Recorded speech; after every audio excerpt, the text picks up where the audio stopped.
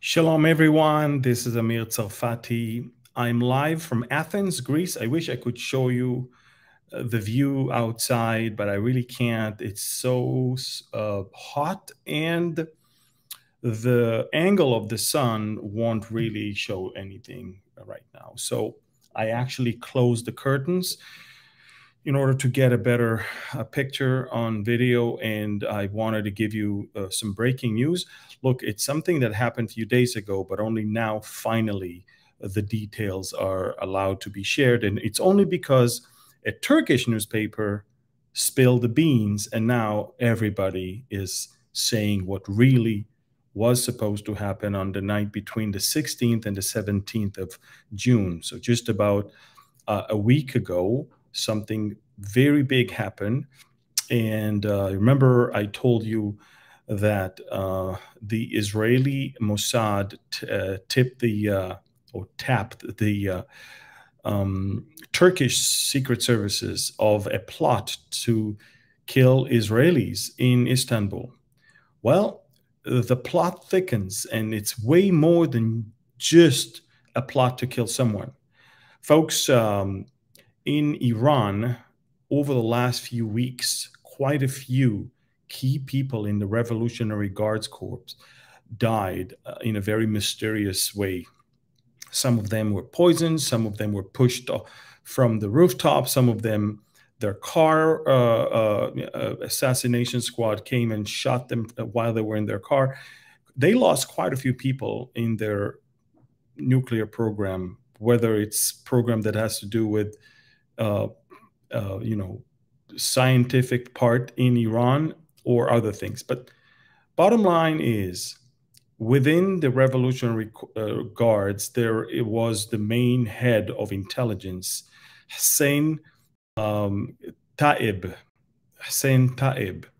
And uh, this guy, um, actually, he didn't even wear uniforms. Um, and apparently, there's a power struggle uh, within the Revolutionary Guards and uh, and within the regime. He really looked very bad when so much has happened on Iranian soil, and he had no way to thwart it, detect it, stop it, or you know do something or even know about it. And so, in order to somehow show some good performance and in order to somehow bring about some results to the Iranian regime, he's the one who ordered the assassination squad in Istanbul to operate.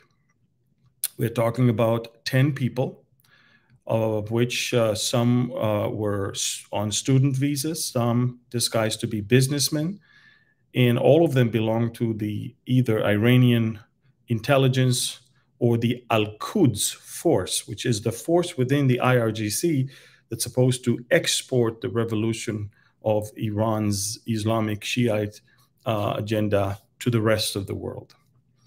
If you remember, President Trump is the one who ordered the assassination of the head of Al Quds force, General Qasem Soleimani, if you remember that. Now, what happened is this we did not wait for the Turks to find out anything. We we are having our eyes and ears tapped on the communication between Tehran and its um, messengers.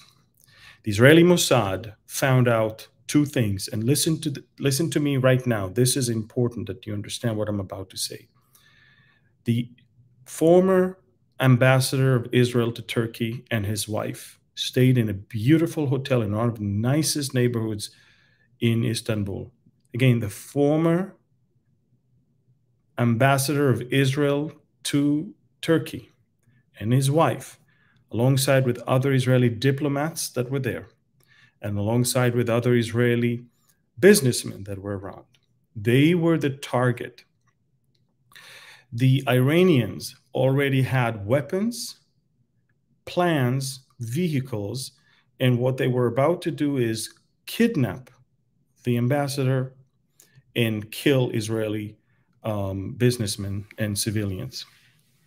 Now, listen to what happened. When we found out that they are about to act, we, of course, alerted the Turks that this assassination squad is on its way. But Israel did not wait for the Turks to operate. Israeli Mossad agents, I know it sounds uh, like a fantasy, it sounds like a, some sort of a thriller book. This is reality. What, what happened a week ago in Istanbul?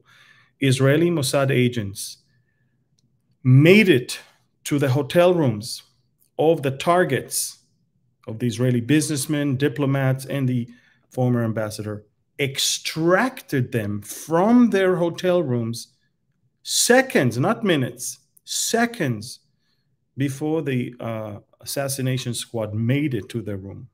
Folks, not only that they extract them, but they drove them immediately to an airport where they loaded them on a private jet straight to Israel. So we're talking about A, intelligence to find out that plot.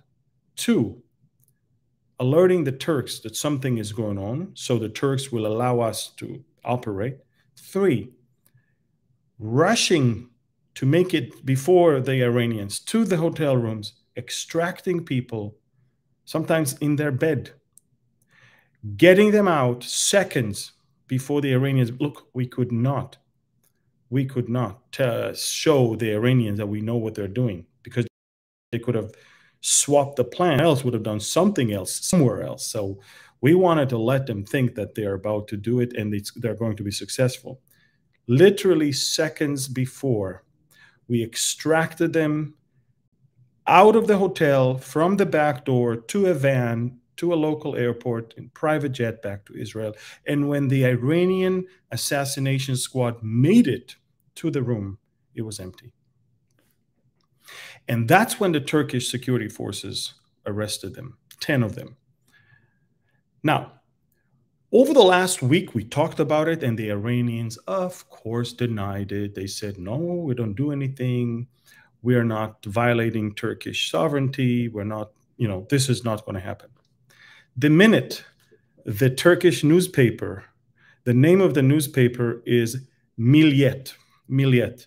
The minute this story came out today on the Turkish Milliyet newspaper, immediately the head of the intelligence, Hussein um, Taib, was removed and a new person uh, was uh, promoted, and his name is uh, his name is um, um, Kadami, Muhammad Kadami. So Hussein Taib was removed. Some people think that, that, he's in a hospital, somebody tried to kill him. And uh, Muhammad Kadami was promoted now to be the head of. Now, all of that I tell you right now, I report that all the time on my Telegram channel. So if you have not done that so far, download Telegram Messenger, follow me, Amir Tsarfati. I've got 275,000 uh, subscribers, and you will get nonstop news that you get we won't see anywhere else. Again, drama in Istanbul. Not only that, Israel seconds before the assassination squad made it to a hotel room to kill a former Israeli ambassador to Turkey and his wife. Seconds before it happened, the Israeli Mossad agent broke in, extracted him, put him in a van, flew him straight to Israel in a private jet. The Iranians made it, found out that it's empty, and that's when they were arrested by the Turks, who were alerted by us. At the same time, the drama continues in Iran because now the, the Iranian regime is embarrassed. The whole plot was unveiled. And now the head of the intelligence, uh, Hussein Taib, was removed from his office, and Muhammad Kadami is now promoted by Hussein Salami, the head of the Iranian Revolutionary Guards, and now that's that's what happened, folks. There's much more that is going on that I cannot reveal to you right now. More people are dying on the streets of Tehran. Uh, you know what? Let me share with you at least what I did post today, so so you know. Um, another assassination of a member of the Revolutionary Guard.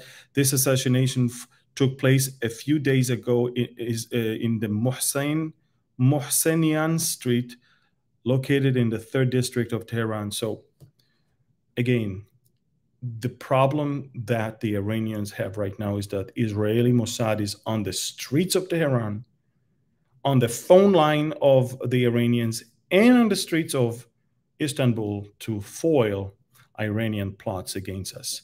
Phenomenal, crazy. It's out of, I guess, thriller thriller books, but these are this is the reality. And that's why when I write fiction thrillers, like the one that is coming out soon, and it's called By Way of Deception, it's based on true events. It's not, I don't make up stories. I just add things to add the gospel to it. But the stories are true. The way they operate is exactly the way things are in reality. And you've got to understand so much is going on behind the scenes. And the Iranians are with their back to the wall. A lot is going on also in Europe. In uh, UK, the inflation rate there is reaching a 40 years high. Inflation in America, and of course, Mohammed bin Salman is now wrapping up a visit to Egypt, Jordan, and Turkey as a the great victor.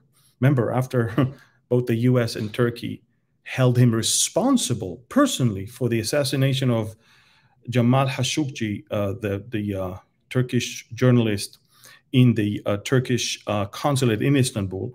After they smeared him and after they ousted him and after they said, we'll never talk to him, we'll never meet with him, now everybody wants to deal with him because reality is coming to visit and it's no longer human rights and ideology. Now it's interest, shared interests. Turkey is now welcoming him. Erdogan not only welcomed MBS, he even, the farewell ceremony, he even walked him up to his plane, upstairs, all the way into his plane. That's, that's something that Erdogan never does. So you can clearly see that the Ukraine war, what's going on in Russia, the energy thing is now uh, like a cloud above the Middle East and above Europe and the US. And that is dictating a completely different type of politics. And remember, I've been saying that for at least 15, 20 years. Ezekiel war is about that energy and it's about that interest. It's a war that will come against Israel not for political or religious things, it's for energy. That's the hook in the jaw of Rosh. Again, breaking news drama in the streets of, of, of, of, Istanbul and Tehran. A lot has happened. Share these breaking news with as many as you can. Follow me on, messen- on, on Telegram Messenger, Amir Tsarfati. 275,000 subscribers. That's the only channel. Don't follow any other channel that has my name because it's a fake one. Amir Tsarfati, 275,000 subscribers. It's the only one, okay? And um, hey, uh, thank you. Uh, we are receiving our guests right now of the Footsteps of Paul tour and cruise. We're going to start tomorrow with the Acropolis in Athens. The day after tomorrow, we're going to visit Thessaloniki. The day after, we do uh, Corinth, and then we board the boat to do the isles, including Patmos, Ephesus, and others. All right. Thank you. God bless you. Share these breaking news and uh, talk to you later. Bye bye.